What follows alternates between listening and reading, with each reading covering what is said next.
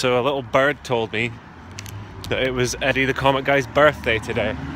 So I quickly raced to the shop and I got the wine and the hula hoops. So now all we need is a homoerotic picture of a birthday cake and uh, we've got ourselves a party. Happy birthday, bro.